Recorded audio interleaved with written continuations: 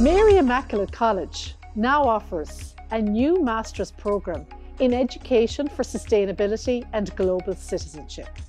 If you are interested in teaching sustainability issues such as climate change, food security or biodiversity, this programme is for you. If you are interested in using your classroom, your school or indeed your local area as a site for transformative learning, this programme is for you. There has never been such a need for comprehensive citizenship education. Designed by the Department of Learning, Society and Religious Education, this programme supports educators in teaching the defining issues of our time.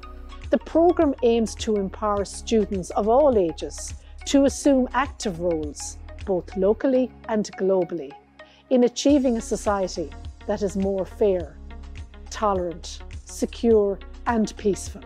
This part-time blended MEd programme will be of interest to all educators, including those working in the preschool sector, primary and post-primary teachers, and those working in the non-formal sector. Based on the most up-to-date theoretical and pedagogical research, the programme is innovative, flexible and practical.